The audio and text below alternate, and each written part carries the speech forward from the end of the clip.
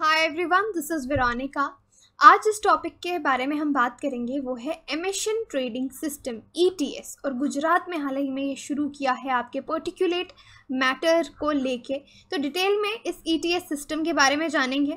मेरे साथ क्वेरीज और अपडेट्स के लिए आप जुड़ सकते हैं इंस्टाग्राम और फेसबुक पे because I feel together we can make a difference अब देखिए एग्ज़ाम के लिए ये कैसे रेलिवेंट है। मेंस पेपर थ्री में ये टॉपिक आपका कवर होता है प्रिलिम्स लेवल पर।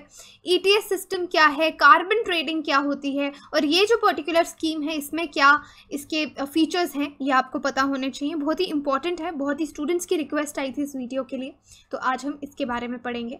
तो उससे पहले एक क्वेश्चन है आपके लिए consider the following statements a carbon price is introduced for reducing global warming emissions ये फ़र्स्ट स्टेटमेंट है। दूसरा स्टेटमेंट है emission trading system and carbon taxes are two main types of carbon pricing तो इसमें से कौन सी स्टेटमेंट सही है, आप मुझे कमेंट बॉक्स में सही आंसर दे सकते हैं। अब देखिए, गुजरात की बात करें तो लास्ट वीक अब आई मीन लास्ट वीक से थोड़ा ज़्यादा समय हो गया है। गुजरात गवर्नमेंट जो है, उसने लॉन्च किया जिसको हम बोलते हैं वर्ल्ड का पहला ऐसा बाज़ार मार्केट जहाँ पे पर्टिकुलेट मैटर एडमिशन्स जो हैं, उनकी ट्रेडिंग होगी। यानी देखिए कोई भी इंडस्ट्री है या किसी भी तरह की एमिशंस जो ग्लोबल वार्मिंग को इंक्रीज़ करती हैं, उसमें आपके बहुत सारे एमिशंस आते हैं। यहाँ पे बात हो रही है पर्टिकुलेट मैटर की, कि पर्टिकुलेट मैटर की एमिशंस की ट्रेडिंग जो है वो होगी। अब दुनिया के बहुत सारी ऐसी जगह हैं जहाँ पे पोल्यूशन को कंट्रोल करने के लिए इस तरह के ट्रेडिंग मैकेनिज़म्स जो हैं वो होते हैं। देखिए यहाँ पे मार्केट की बात हो रही है कि पर्टिकुलेट पर्टिकुलेट मैटर एमिशंस के लिए एक मार्केट अब जो है वो बनाया जा रहा है जहाँ ट्रेड होगी। ट्रेड में का क्या मतलब है?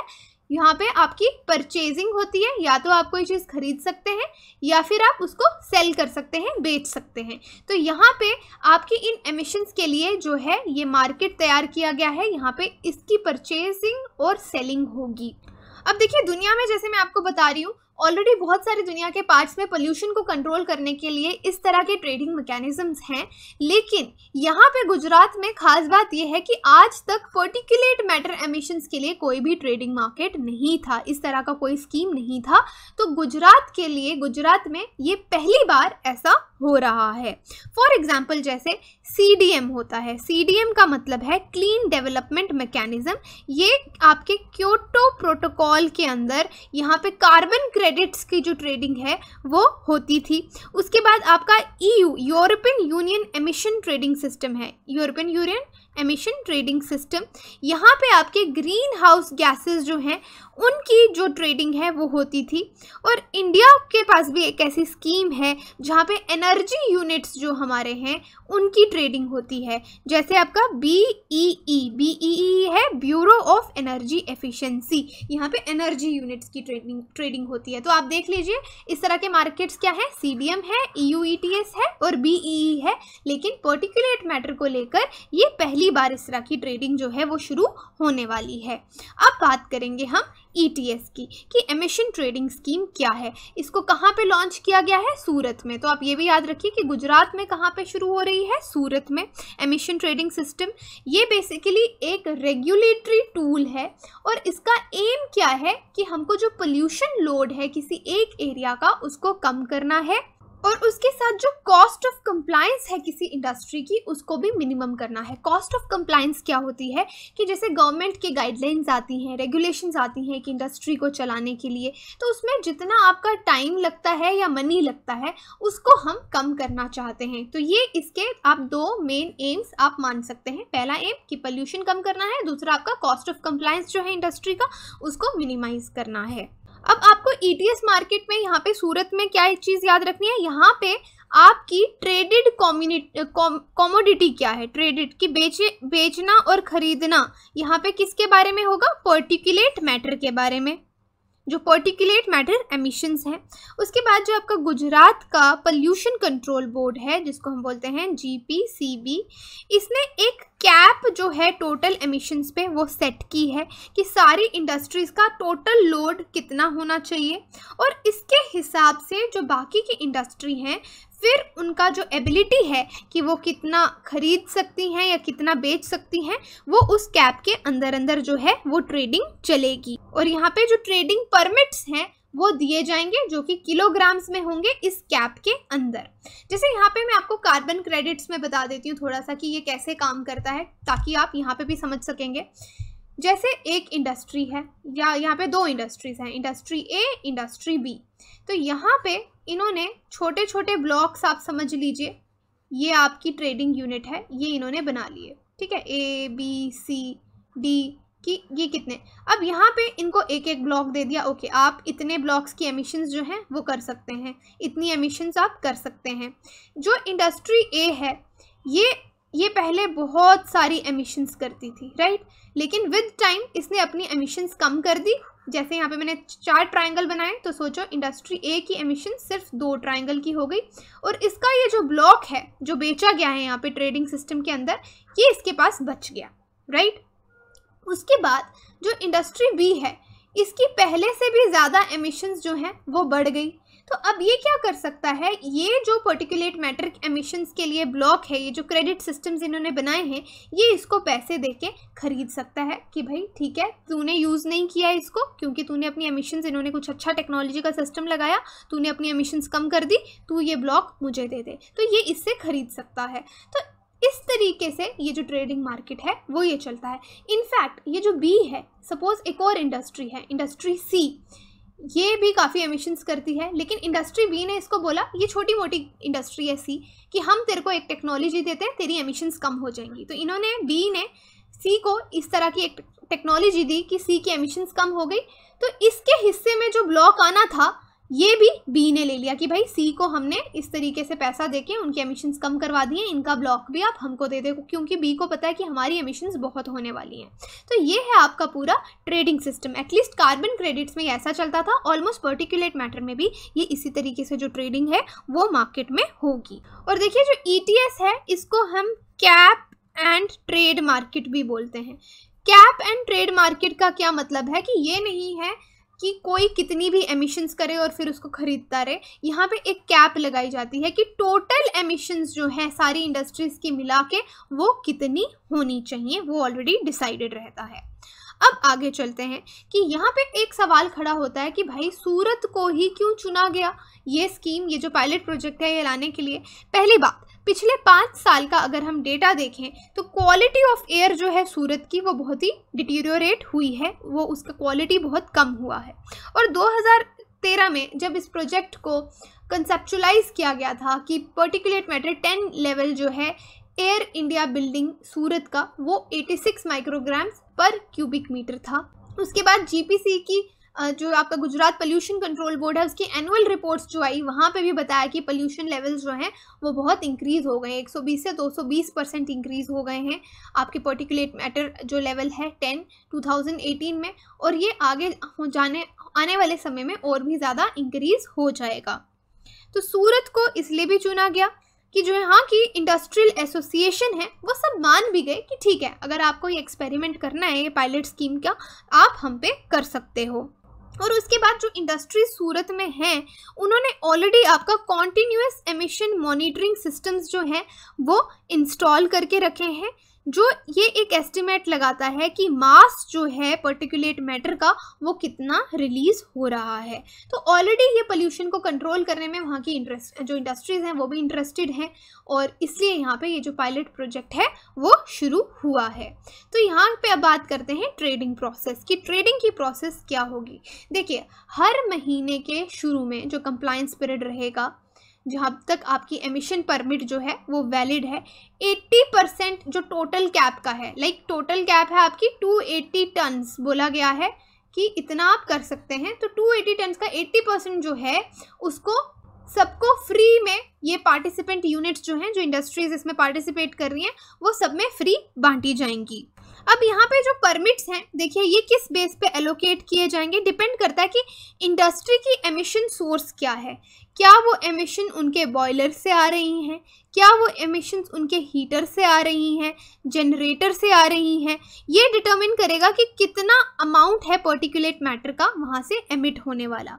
और यहाँ पे उसके बाद जो गुजरात पोल्यूशन कंट्रोल बोर्ड है रिमेनिंग जो 20 परसेंट है, उसके लिए परमिट्स जो है फ़र्स्ट ऑक्शन में कंप्लाइंस पीरियड के दौरान ही वो दिए जाएँगे। और फ्लोर प्राइस यानी ये ऑप्शन आपका शुरू हो रहा है मिनिमम इसका है कि पाँच रुपीज़ फाइव पर केजी जो है, इसको आप खरीद सकते हैं और मैक्सिमम ये कितना जाएगा? रुपीज़ हंड्रेड का कैप यहाँ पे लगाया गया है पर किलोग्राम में। तो जो पार्टिसिपेटिंग यूनिट्स हैं यहाँ पे, वो बेच सकती हैं सेल कर सकती हैं, ये जो परमिट्स हैं आपस में जैसे मैंने आपको पीछे समझाया ए और बी सी इंडस्ट्री का एग्ज़ाम्पल लेके, ये आपस में इसको बेच सकती हैं, खरीद सकती हैं।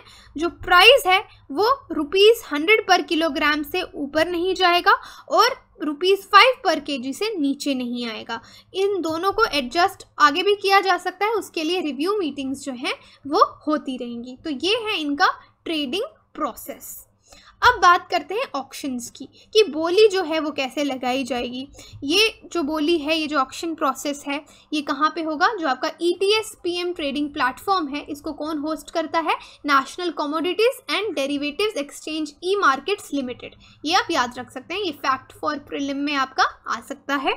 यहाँ पे जितने भी पार्टिसिपेंट्स हैं, उनको क्या करना है? पहले रजिस्टर करना है, अपना एक ट्रेडिंग अकाउंट जो है एन e के साथ, वो बनाना है, और उनकी भी ट्रांजेक्शन्स होंगी, वो लिंक्ड होंगी उनके बैंक अकाउंट्स के साथ राइट right? जो यूज़र्स हैं, उनके बैंक अकाउंट्स के साथ लिंक होंगी और वो अपने अपडेट्स अपने अकाउंट्स में देख सकते हैं यहाँ पे ऑक्शंस जो हैं बेसिकली दो तरीके के होने वाले हैं एक है आपका यूनिफॉर्म प्राइस ऑक्शन दूसरा है कॉन्टीन्यूस मार्केट राइट right? अब देखिए यूनिफॉर्म प्राइस ऑक्शन में क्या है जो एक हफ़्ते का परमिट प्राइस होगा, उसको डिस्कवर किया जाएगा किसके द्वारा? पार्टिसिपेटिंग मेंबर्स के द्वारा थ्रू बिडिंग यहाँ पे बिडिंग होगी, बोली लगाई जाएगी, और एक हफ़्ते के लिए जो पार्टिसिपेटिंग आपका परमिट प्राइस है, वो डिसाइड किया जाएगा। कॉन्टिन्यूस मार्केट में क्या है? ये वेडनेसडे से वेडनेसडे चलेगा। जहाँ पे जो मेंबर्स हैं, वो बेचेंगे और खरीदेंगे परमिट्स जिनका प्राइजेस जो प्राइस है, वो हर ट्यूसडे को फिक्स किया जाएगा, और वेडनेसडे को वो इसको खरीदेंगे राइट और जितना उनको इसमें पीरियड मिलेगा लाइक दो से सात दिन अगर मिल रहे हैं, जब तक उनका कंप्लाइंस पीरियड जो है वो पूरा होता है, जो ये यूनिट्स हैं, ये आप बेच सकते हैं, खरीद सकते हैं, जब तक कि फाइनल ऑक्शन प्राइस जो है वो पूरा कंप्लाइंस ऑब्लिगेशंस को पूरा नहीं कर लेता। तो इस तरीके से आपके ऑप्शंस जो हैं यहाँ पे वो चलेंगे। अब है कि अगर कोई इन रेगुलेशंस और गाइडलाइंस को नहीं मानता तो किस तरह की पनिशमेंट जो है या प्यूनिटिव एक्शन जो है वो यहाँ पे लिया जाएगा? अब परमिट्स पे डिपेंड करता है कि कौन कौन सी यूनिट्स उनको रख रही हैं, कि वो कंप्लाइंट हैं या नॉन कंप्लाइंट हैं। अगर इन्वायरमेंट को डैमेज होता है तो उसका कॉम्पनसेशन कितना है? रुपीज़ टू हंड्रेड पर के जी जो है वो इम्पोज किया जाएगा एमिशंस पे। जितना उसको यूनिट दिया गया है परमिट होल्डिंग के लिए, जब end of the compliance period है, उसके ऊपर रुपीज़ टू हंड्रेड पर के जी जो है, आपको फाइन जो है कॉम्पनसेशन जो है, वो देना पड़ेगा। और ये जो अमाउंट है, इसको डिडक्ट किया जाएगा from environmental damage compensation deposit right environment damage compensation deposit से। और यहाँ पे क्या है? हर यूनिट को ये जो वैल्यू है ये आपको पहले ही सबमिट करनी है स्कीम शुरू होने से पहले। तो जितनी आपकी स्मॉल यूनिट्स हैं, उनसे ऑलरेडी एडवांस में टू लाख रुपीज़ लिया जा रहा है और मीडियम वन से तीन लाख रुपए लिए जा रहे हैं और जो आपकी बड़ी यूनिट्स हैं, उनसे दस लाख रुपए ऑलरेडी कलेक्ट करके लिए जा रहे हैं। और जब कोई डिडक्शन होगा, ठीक है सपोज़ कोई छोटी कंपनी उसने दो लाख रुपए जमा किया, लेकिन बाद में उसकी एमिशंस इंक्रीज हो गई 200 पर केजी से, उसका जो कंपनसेशन है, वो काटा जाएगा। तो उसके जो ऑलरेडी अमाउंट उसने दिया है, वहाँ से डिडक्ट किया जाएगा। डिडक्ट होने के बाद उस यूनिट को जो एक्स्ट्रा मनी है शॉर्टफॉल के बाद यहाँ पे फिर से जमा करना पड़ेगा। अब देखिए, यहाँ पे कोई बहुत सारे परमिट्स होल्ड करके ना बैठ जाए। Right right? जैसे एग्रीकल्चर में भी आप देखते हैं कि अनियन के प्राइजेस इतने ज़्यादा बढ़ गए क्योंकि काफ़ी लोगों ने स्टोर कर लिया। इसको हम होर्डिंग बोलते हैं। कि कोई होर्डिंग ना करे परमिट्स की, इसलिए जो अपर लिमिट है उसको भी सेट किया गया है, जो है आपका 1.5 times the initial allocation initial allocation में जितना आपको दिया है, उससे ज़्यादा आप डेढ़ गुना ही उसको बढ़ा सकते हैं। ये कंप्लाइंस पीरियड तक की बात हो रही है। या फिर थ्री परसेंट जो मार्केट कैप है जितना मार्केट कैप है, उससे तीन परसेंट आप इंक्रीज करते, कर सकते हैं कंप्लाइंस पीरियड तक। और यहाँ पे बोला गया है कि कोई भी यूनिट जो है, उसको 90 पर, जो इनिशियल उसकी कॉस्ट है, जो इनिशियल एलोकेशन है, उससे कोई भी इस तरह की यूनिट अपने 90 परसेंट से ज़्यादा सेल नहीं कर सकती। तो ये चीज़ें हैं जिनको आपने ट्रेडिंग के टाइम पे ध्यान में रखना है। तो अब बात आती है कि क्या सिग्निफिकेंस है इसका? देखिए, इन परमिट्स का ये मतलब नहीं है कि हम इंडस्ट्रीज़ को बोल रहे हैं कि हाँ अब आप पोल्यूशन जो है वो कर सकते हैं। जो परचेजिंग परमिट्स हैं, ये एक बेसिकली इंट्रिम मेजर है, एक बीच का मेजर है कि ये यूनिट्स जो हैं फाइनेंशियली जो डिफ़िकल्ट फील करती थी कि हम एयर पोल्यूशन कंट्रोल मेजर्स नहीं ले सकते इंस्टॉल नहीं कर सकते, वो बहुत महँगे हैं, उनको इससे काफ़ी मदद मिलेगी। बाकी वर्ड्स में आप यही कह सकते हैं कि यहाँ पे कुछ समय आपको दिया जा रहा है सम टाइम दिया जा रहा है कि आप बाद में इन्वेस्टमेंट्स जो हैं पोल्यूशन को कंट्रोल करने के लिए वो कर सकें। और ये एक आइडिया भी है इस पायलट प्रोजेक्ट के दौरान कि जिन लोगों को पहले लग रहा था इंडस्ट्रीज़ को, नहीं यार, जो पोल्यूशन कंट्रोल टेक्नोलॉजी है, उसको ख़रीदना, उसको इंस्टॉल करना बहुत महँगा है तो इसके बाद उनको समझ आ जाएगी कि भाई आप उन, जो ये पोल्यूशन कंट्रोल टेक्नोलॉजी है, इसी को इंस्टॉल कर दो, वही सस्ता है, वरना बाद में ये जो परमिट्स हैं, ये आपको बहुत ही महँगे पड़ने वाले हैं। जब आपकी, आप एमिशंस अगर रिड्यूस नहीं कर पाए और आपको परमिट्स खरीदने पड़े हायर कॉस्ट पे तो तब आपको समझ आएगी कि भाई इससे अच्छा था कि हमने टेक्नोलॉजी ही इंस्टॉल कर ली होती पोल्यूशन को कम करने के लिए। यानी सबको एक इन शॉर्ट बता दूँ, सबको एक लिमिट दी जाएगी कि आप इतने एमिशन्स कर सकते हैं। अगर उसके बाद उनके एमिशंस अगर बढ़ते हैं तो उसके लिए एक कितना 280 टन कितना एमिशन कर सकते हैं? एक कैप है। उसके अंदर जो ट्रेडिंग है इंडस्ट्रीज़ के बीच में कि भाई तेरी कम एमिशंस हैं तेरे पास परमिट पड़ा है तू मुझे दे दे। दूसरा बोलेगा नहीं मैं ते, तेरी कंपनी छोटी है तेरी इंडस्ट्री छोटी है तुम्हारे यहाँ पे मैं टेक्नोलॉजी लगवा देता हूँ मेरी एमिशन ज़्यादा है परमिट तू मुझे दे दे। तो इस तरीके से ये जो मार्केट है वो वर्क करेगा। राइट तो यही है आपका पूरा एमिशन ट्रेडिंग सिस्टम तो यहाँ पे ये सवाल भी है कि कितने इंडस्ट्रियल यूनिट्स इसमें पार्टिसिपेट कर रहे हैं। तो जो लाइव ट्रेडिंग है, ये आपकी सेवनटीन सितंबर से शुरू हो गई थी। यहाँ पे आपके 88 इंडस्ट्रीज़ जो हैं, वो पार्ट लिया उन्होंने। जो फ़र्स्ट राउंड था, उसमें टोटल इंडस्ट्रीज़ 155 पार्टिसिपेट करी और फ़र्स्ट राउंड में आपकी 88 इंडस्ट्रीज़ ने पार्टिसिपेट किया। तो एमिशन परमिट्स जो हैं worth rupees two point seven eight lakh जो है, उनकी ट्रेडिंग हो चुकी है। ये इंडस्ट्रीज़ जो हैं, काफ़ी अलग अलग सेक्टर से आ रही हैं। आपकी टेक्सटाइल इंडस्ट्रीज़ हैं केमिकल इंडस्ट्रीज़ हैं, आपकी शुगर इंडस्ट्री है। ये जो इंडस्ट्रीज़ हैं, या तो ये कोल यूज़ करती हैं, या बैगेस यूज़ करती हैं राइट बैगेस यूज़ करती हैं फ्यूल के लिए। और हाई अमाउंट ऑफ़ एश जो है, वो जनरेट करती हैं। और यहाँ पे पार्टिसिपेंट्स को सिलेक्ट किया गया है किसके बेसिस पे? कि उनकी चिमनीज जो हैं, उनका साइज़ कितना है? जिनका diam with a diameter of 24 inches से ज़्यादा जिनका डायमीटर है, या जो इससे बड़े प्लेयर्स हैं, उनको इसमें इंक्लूड किया गया है। तो यहाँ पे ए बी सी डी सही आंसर है आपका सी सी यानी बोथ वन एंड टू कि कार्बन प्राइस जो है ऑब्वियसली इसको इंट्रोड्यूस किया गया कि हमको ग्लोबल वार्मिंग एमिशंस कम करनी है और जो ईटीएस सिस्टम्स हैं और कार्बन टैक्सेस हैं, ये दो मेन टाइप हैं किसके? कार्बन प्राइसिंग के। बिल्कुल हैं। तो ये आपको आंसर ये है। Okay thank you so much